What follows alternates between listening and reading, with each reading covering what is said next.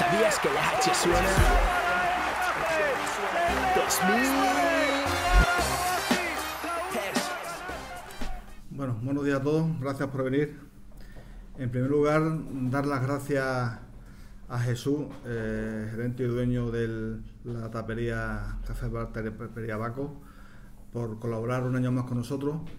Y bien, como ha dicho Irene al principio, pues va a ser una colaboración un poco más amplia, porque nos va a dar de comer a los chicos de EVA y a nuestro entrenador. Entonces, bueno, pues agradecerle la colaboración eh, ya como dije el otro día, es una parte importante del presupuesto la parte de alimentación de los jugadores y creo que para nosotros es fundamental este, estas colaboraciones. Agradecerle a Jesús la colaboración que ha tenido durante muchos años con nosotros, ya es una empresa, digamos, típica del club que está siempre con nosotros colaborando y esperemos que esto, esto dure en el tiempo. Eh, nada más, ahora mm, vamos a presentaros a tres jugadores, eh, digamos, la la, Armada Europea que hemos traído este año. Eh, más que presentarlos ya los conocéis porque los habéis visto durante toda la pretemporada. Las características de cada uno son jugadores jóvenes, algunos con alguna experiencia más como Milan, pero que nos van a dar pues lo que, lo que queremos de ellos, mucha energía, mucha fuerza, mucha ilusión, sobre todo ilusión que creo que tienen muchas los tres. Y nada, darle la bienvenida al club, que estén a gusto con nosotros, como siempre decimos con todos los jugadores, que se sientan a gusto porque si ellos están a gusto van a rendir eh, eh, todo lo que todo lo que tienen dentro para que el club y el equipo esté lo más alto posible este año. Y nada más darles las gracias por el esfuerzo que están haciendo durante toda la pretemporada eh, y animarles a que a que nos den todo que seguramente si ellos nos dan todo pues el club estará arriba y nosotros pues estaremos agradecidos a ellos y evidentemente, como siempre os digo, tienen el club a su disposición para lo que quieran. Mm, espero que estén a gusto con nosotros y que nada más, darle las gracias a, Jesús mucho al principio y os, doy la palabra a ellos que yo lo que yo... Mira, disculpa José María, para José Manuel, si, si, no te importa. sí, que siempre me confundo, disculpa. Disculpada. Para los que no les conocemos, no tenemos mucho conocimiento de ellos, ¿nos puedes decir de dónde vienen y qué posición ocupan en la cancha? Por favor. Pues empezamos con Jordi, Jordi holandés, 206, eh, a la pivo.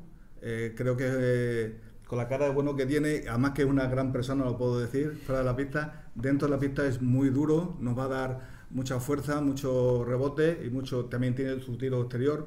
Yo creo que va a ser una pieza importante dentro de la pintura. Y la parte de mi derecha, la parte serbia, una escuela que yo creo que necesita presentación en Europa, ¿no? De las mejores escuelas de baloncesto de Europa, la calidad que ellos tienen, pues, pues evidentemente nos la van a dar. Eh, Costa, este año lo vamos a utilizar nosotros un poquito más por dentro de, de pivo, aunque él también puede jugar de alero.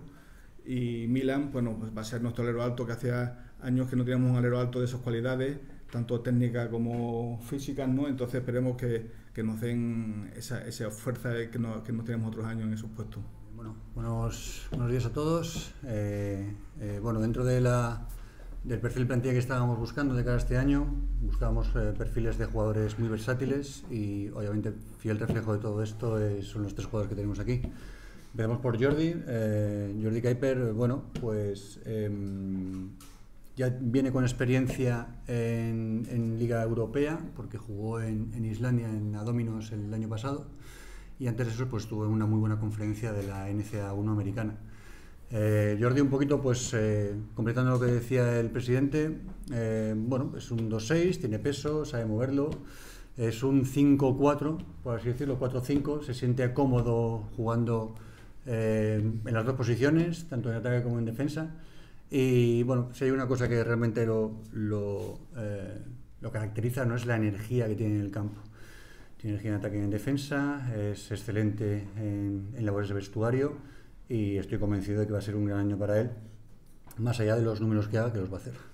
Entonces, pues, eh, em, bueno, eh, como ha dicho Irene, ya que empieza a hablar eh, un poquito Jordi de cómo se siente aquí en Cáceres y más historias, y bueno, yo os voy, voy traduciendo. Um, well, first off, hi everyone, thanks for coming. Um, when I was talking to Sergio and Roberto before the start of the season. Um, they were talking to me about the type of team and the type of players and characters they wanted to build a team around. Um, for me and You translate or just talk the whole thing? Or uh, no, let me, let me, let me, uh, Yeah, let the me whole thing- translate. the whole thing? No, the whole thing, no, no, no, because maybe, maybe, maybe, yeah, yeah. Maybe, that's why I wanted to stop, Yeah, so you can go. we have to split because maybe Yeah, I don't remember it. All right. Vamos a ir por partes si nos importa porque si no me voy a enterar de todo. Eh, dice que, que, bueno, cuando ya empezó a hablar con nosotros en, en, en verano, eh, con Roberto y conmigo, de alguna forma ya hicimos eh, ver un poquito pues el tipo de, de, equipo que estábamos buscando, ¿no? qué perfil de plantilla estábamos buscando ¿no? y, y los jugadores que queríamos. Y, y bueno, pues un principio pues le, le, le gustó la idea. Yeah, and the um, the thing I love most about that is that this is a team that is all about working hard and working hard for each other, whereas other professional teams are usually more about just performing and practicing together for the team. There's also a really big focus on individual uh, development of players. Um, and the thing I love most about that is that, that you have guys in the locker room that don't necessarily just care about their own individual stats, but you have guys that want to give their all for the team. And I've seen in the past in college when I won two uh, championships as well, is that that's the most successful way to play basketball when you have guys that only care about what's best for the team and not worry about their own stuff first. And I think we have a great group of guys that do that. Eh, bueno, estaba diciendo que, que, que, bueno, que de alguna forma lo que más le, le atrajo del proyecto es que eh, lo que se intentaba era eh, traer un grupo de jugadores ¿no? que pusieran eh, su talento y su trabajo eh, al servicio del equipo entre todos ellos se pudieran, eh, se pudieran eh, completar y apoyar entre ellos. Piensa que la forma, por su experiencia, dice que la forma más fácil ¿no? de poder tener éxito durante la temporada es tener este tipo de perfiles de jugadores. No solamente eso, sino que además eh, este cuerpo técnico y este club, este equipo en este caso, se preocupa muy mucho por el desarrollo de cada uno de los jugadores. Tenemos gente joven ¿no? y, le da mucha, mucha importancia, eso le da mucho valor y piensa que es la mejor forma de, de, de poder tener éxito este, este año. Yeah, and, and just, yeah, so finally, the, the, group of guys that we have is, is, you know, I love coming to work every single day. I love coming to practice every day because I know that we have created an environment, Sergio and Roberto and the coach Armando, they've created an environment that is very beneficial to growing a team and in, a family atmosphere in the way that I think basketball should be played. And uh, I guess lastly is that about the city of Cáceres is that last year I played in Iceland and you know, very isolated, and a lot of people. I didn't feel necessarily the warmth of a European city that I do here, and I love going out and about and just walking around the city and meeting people. And every day when I when I walk somewhere and it's a 10 minute walk, it automatically becomes a 20 minute walk because I just stop talking to random people on the street, and I love that. I love that atmosphere. About the city. Bueno, le da también mucho valor a lo que es la atmósfera que se ha creado dentro del, dentro del equipo. Eh, eh, dice que, que, le encanta ir a tener todos los días, cree que hay un gran grupo de jugadores eh, lo que dentro del vestuario, le da muchísima importancia a esto, sobre todo pues, a la hora de, de, ver el grupo humano que se crea dentro del vestuario ¿no? y sobre todo la atmósfera ¿no? que se vive. Piensa que, que, bueno, pues que al final el cuerpo técnico ¿no? y el club ha hecho un esfuerzo al respecto, que está encantado de venir todos los días. Pone como ejemplo, por ejemplo, el año pasado en Islandia, que era un poquito distinto, ¿no? que no sentía de alguna forma el calor que te, da una ciudad como esta y, bueno, y lo que es la rutina de venir todos los días a entrenar. Y bueno, pone como ejemplo el hecho de que, bueno, pues que cuando sale a pasear por ahí 10, 15, 20 minutos se pasa, pues para hablar con la gente por la calle y tal, y que le gusta mucho este tipo de cosas, ¿no? Piensa que es algo muy positivo para los jugadores y, y bueno, obviamente le da un valor importante a esto y pues, se encuentra muy, muy a gusto en, en la ciudad y en, y en, el equipo. Vale, bueno, pues eh, Milan, eh, al hilo un poquito de lo que decía el, el, presidente, pues es nuestro, nuestro alero alto, al final pues es un 3, que puede jugar al 2, que hace 3 años cuando estaba en el Prat jugaba al 4. Eh, bueno, pues dentro de esa versatilidad que estamos buscando, pues otra vez un fiel reflejo de ello es, es Milan. Eh, no es el mismo jugador que se marchó hace tres años de, de, de Leboro, del Prat. Eh, ha desarrollado muy mucho su juego estos dos últimos años en Primera División Serbia. Eh, es capaz de hacer muchísimas cosas, eh, tiene mucho talento a nivel ofensivo, tiene que trabajar un poquito más a nivel defensivo, pero eh, sinceramente pienso pues, que es una puede ser un referente en nuestro equipo y lo va a ser. Y, y bueno, pues es capaz de adoptar diferentes formas, juego sin balón, juego sin balón, eh, de pick and roll, saliendo de, indirectos. Obviamente es un jugador muy, muy completo. Tiene ese aporte físico que nos da tener un tres salto, ¿no? A de poder rebotear y defender a, a tres saltos en el poste bajo. Bueno, eh, yo creo que es un poquito más conocido que, Jordi o que, o Costa en este aspecto, pero, pero no, es, eh, no es del todo cierto ¿no? el hecho de que se pueda esperar un rendimiento de él como el que dio hace tres años en el Prat pero como he dicho, ha evolucionado, ha evolucionado mucho en su juego y, y, bueno, yo creo que ahora en pretemporada pues habéis podido, habéis podido comprobarlo. Like Jordi said, everything passed really good. We have enough time to each, uh, to know each other, and uh, uh, finally we are we are uh, full full team is here. Like uh, the big guy finally arrived, so I hope so we'll continue with the good work, uh, good effort, and um, we'll play every single game uh, with uh, a lot of uh, effort and, and energy. energy and Más, ¿ok? Eh, bueno, un poquito siguiendo lo que ha, decido, lo que ha dicho lo que ha dicho Jordi. Eh, después de estas cuatro semanas de, de, temporada han tenido tiempo ¿no? de conocerse lo, los chicos entre ellos, tanto dentro como fuera del campo, lo cual es importante. Eh, ahora por fin, ya antes de empezar la, la, la competición oficial, ya tenemos el equipo eh, al completo, ya sin lesionados, tocamos madera. Eh, y con eh, nuestra referencia interior que es, que es Arkim y bueno, espera que ahora que empieza la temporada pues que se trabaje con mucha energía y, y yo, yo, creo que al final pues tiene, aunque no parezca, tiene muchas ganas de empezar. eh, preguntaré por, el, por la mano que ha tenido algunos problemas y tal, ¿no? el brazo, no sé si está... ¿Ya? it's much, Yeah. uh, it's much better. Dice que, dice que está bien. Mejor. Mejor. Está mucho mejor, dice. Well, I don't want to repeat Milan and and, uh, and Jordi, but uh, if there was one word to explain this team, it would be uh, unselfishness. And I feel that so far we have like a really good team spirit. Um, the older guys are trying to help us, uh, uh, young guys, with like uh, with like some words of of like encouragement and stuff, you know. So uh, I think so far we're like really building the team, and it's a long season, so we'll be we'll be we'll be ready to to execute whatever we need. Vale, como no quiero repetir muy mucho las, las palabras que ha dicho tanto Milan como Jordi, dice que si hay una palabra que realmente puede eh, eh, llegar a señalizar ¿no? o, decir lo que, lo que significa este equipo es eh, que la gente no es egoísta, que la gente, eh, todo el mundo está mirando por el compañero, que los jugadores más veteranos están ayudándoles ¿no? Eh, a través de, pues, para hacerles ver un poquito el juego que se, que se está buscando. Eh, y también se ayudan obviamente con- con- para animarlos ¿no? dentro de lo que es la búsqueda del sitio que todos y cada uno de ellos están, necesitan ¿no? dentro, del, dentro del equipo y que bueno, piensa que es una temporada que va a ser muy muy larga pero que van a estar preparados para competir todos los partidos y, y- y, bueno, pues obviamente como igual que el resto le da mucho valor al hecho de que, bueno, pues que es un ambiente y una atmósfera de vestuario francamente buena y que, y que hay un gran grupo de, de jugadores, un gran grupo humano de jugadores. ¿Le puedes preguntar cómo se siente como cuatro, que una posición que a lo mejor se está acostumbrando también? How do you how do you feel playing the position four? Because maybe you are not used to play this kind Yeah, of I'm, position. yeah, I'm getting uh, I'm getting used to it. Uh, I really like the. I mean, I like the sets that Coach uh, Roberto is uh, is running with a four. So when I'm at a four, a lot of times I feel like I play the three because I play outside so much that uh, which which I'm used to.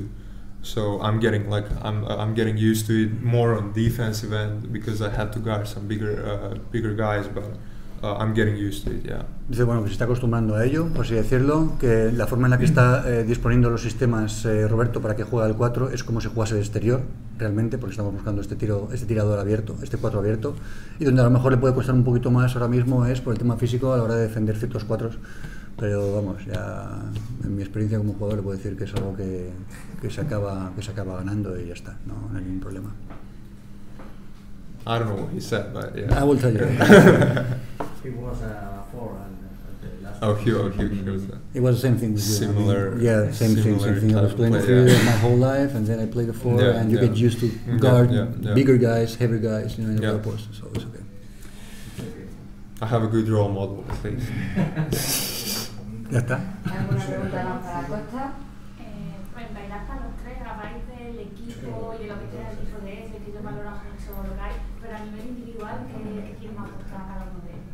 So, so she's asking for for all of you Mhm. that you were talking about the, this team spirit and everything that uh, you really like, uh, you really like, no, the way the atmosphere is built. Um, but what do you think? Each of you, what do you think, like individually, what can you add? What can you what can you give to the to the team, like individually? Individually.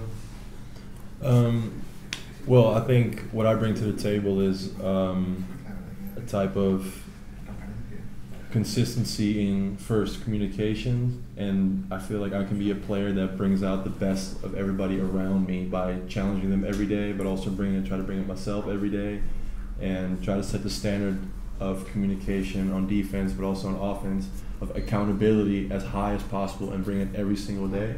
Um, that's something I've done in, in, America for five years and last year in Iceland as well.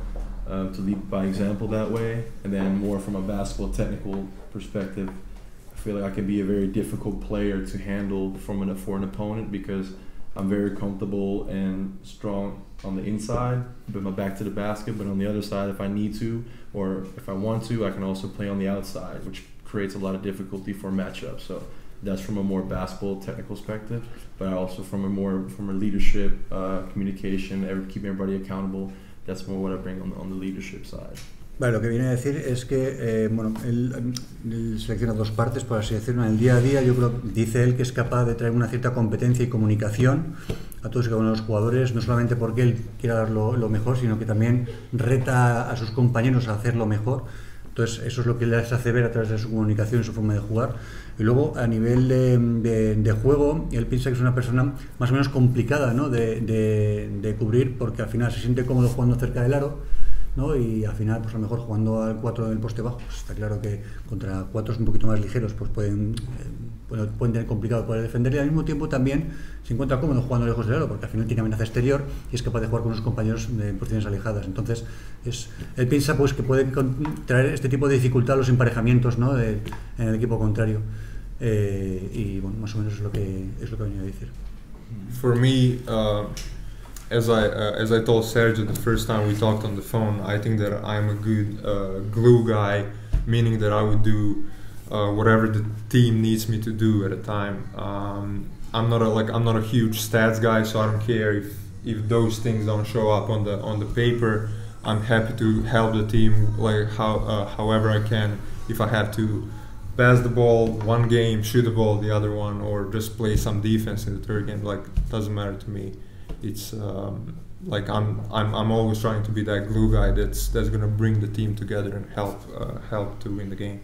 Bueno, le venía a decir que eh, desde que habló conmigo por teléfono, la primera llamada que tuvimos, luego cuando habló con, con, con Roberto, al final, eh, piensa que ese tipo de jugador, ¿no? que llaman ellos glue guy, es un jugador que es de pegamento del equipo, ¿no? un jugador ¿no? pues que siempre está a servicio del equipo para todo lo que quiera el cuerpo técnico, un jugador que eh, a lo mejor sus, eh, sus, fortalezas no aparecen en un trozo de papel, ¿no? según las estadísticas que tenga. Él no está para eso. Él está al final para un día a lo mejor pasar más balón, otro día pues me tira, hacer más tiros, un poquito en función de lo que necesite el equipo. Y, y bueno, pues eh, así es como se siente y, y, es lo que se le ha transmitido y, y bueno, eso es lo que piensa hacer. Should we switch the seats or? No, that's okay, that's okay, that's okay. Because uh, I'm a player who's not selfish. I like to play for a team. Um, like I can uh, defend like multiple position. I can play also multiple positions, and um, I can give some advice for the players, uh, for new players in, in club goal. so uh, that's it. Muy bien. Bueno, él piensa que es un jugador que no es en absoluto egoísta, que puede jugar en varias posiciones, también puede defender varias posiciones y que, y que bueno, siempre intenta ayudar a aquellos jugadores que son nuevos en la, en la competición, ¿no? pues un poquito guiarles ¿no? lo que es la y, y poco más ha dicho. sí, yo una. Eh, para Sergio, a punto de comenzar la temporada, eh, ¿cómo definiría la plantilla que ha quedado de, del CAFE para, para este año que inicia? Bueno, eh, el tema de resultados deportivos de pretemporada, que a poco que me conozcáis un poquito, eh, la lectura que se tiene que hacer pretemporada no es sobre un marcador, sino sobre, sobre todo un proceso y ver en qué fase de ese proceso estamos. Eh, el equipo que ha quedado al final es un equipo que creo que está, está bastante compensado en función de los, de los juegos que tenemos. No tenemos cromos repetidos, por así decirlo. Lo que buscábamos era pues, que todas y cada una de las posiciones se completasen dentro de lo que tenemos. Y como he dicho antes, al final buscábamos un perfil de plantilla versátil y creo que lo tenemos. Tenemos un 1 que hace el 2, un 2 que hace el 1, un 3 que hace el 4, un 4 que hace el 3, un 4 que hace el 5. ¿Me explico? Entonces, eh, teniendo una plantilla corta como es la que tenemos, de 10 jugadores con la ayuda de, un par de chavales de leva, eh, en el momento que eh, tienes algún problema de lesión o que uno se pone mal o lo que sea, siempre necesitas un jugador que se encargue de cubrir ese puesto. Eh, para nosotros era francamente importante que fuera así, eh, para Roberto y para mí desde el principio y, bueno, pues eh, lo, la plantilla que nos, ha, que nos ha quedado, estamos francamente contentos, sobre todo porque en la mayor parte de los casos era el perfil de jugador y el jugador en concreto que queríamos traer. Y ya todos con muchas ganas de que llegue el viernes y, y que empiece la competición real. ¿Y llegáis bien para, para el inicio de temporada? Yo creo que eso es más pregunta para, para Roberto mañana, que va a hacer la previa. Eh, yo lo que veo es que todavía seguimos en ese proceso. Eh, no solamente nosotros, al final, a poco que preguntes a otros equipos, los primeros partidos de pretemporada siguen siendo pretemporada, porque ya está ahí, las piezas tienen que seguir encajándose, ¿no? el puzzle tiene que seguir haciéndose. Eh, lo importante es ver en qué fase de ese proceso estamos, y creo que estamos cerca de lo que queríamos desde el principio, antes del primer partido contra Huesca. A nadie se le escapa que al final los tres primeros partidos que tenemos ahora mismo, Huesca en casa, Marín fuera y Cano en casa, son importantes. Entonces, pues, eh, había un objetivo a, corto plazo por el, en el cual pues había que llegar a estos tres partidos de la mejor manera posible, tanto física como técnico-tácticamente. Y bueno, eh, algo se pudo llegar a ver el otro día contra Melilla, después del desastre de Oporto. Pero bueno, como os digo, eh, eh, al final hay que hacer la lectura correcta de cada uno de los partidos. El tema de marcador es muy, muy secundario, todo se tiene que contextualizar. Y, y bueno, yo, yo creo que llegamos en un buen momento de forma a partir de Huesca. De victorias y derrotas, pero nunca de vencidos. Suena, suena el infierno verde y negro. Si entrenas, da igual lo que haga el resto. Y si algo queda claro en todo esto, es que Cáceres quiere baloncesto. Verde y negros unidos son